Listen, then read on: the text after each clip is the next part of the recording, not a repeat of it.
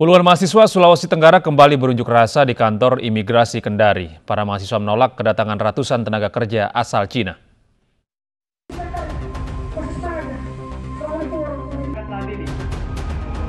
Puluhan mahasiswa Sulawesi Tenggara kembali berunjuk rasa menolak kehadiran 500 tenaga kerja asing asal Cina di depan kantor imigrasi Kendari. Para mahasiswa khawatir pekerja asing menjadi klaster penyebaran virus corona.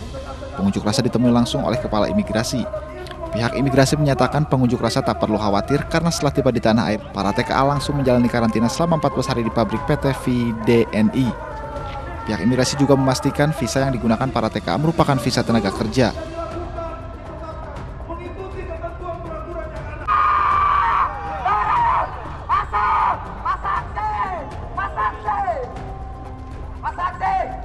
Sebelumnya unjuk rasa menolak 500 TKA juga terjadi selasa kemarin di Simpang 3 Bandara Halu Oleo, Konawe Selatan, Sulawesi Tenggara. Unjuk rasa sempat diwarnai saling dorong antara mahasiswa dengan petugas keamanan yang menghadang masa. Unjuk rasa dipimpin oleh anggota Komisi 3 DPRD Sulawesi Tenggara.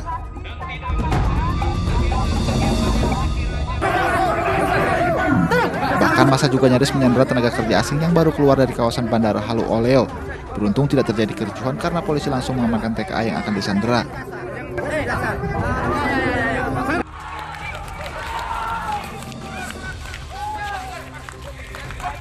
Unjuk rasa berlangsung hingga selasa tengah malam.